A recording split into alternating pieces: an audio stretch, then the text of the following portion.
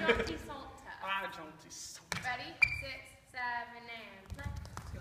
Go. For a jaunty saunter, we ah, are bound to make a mark.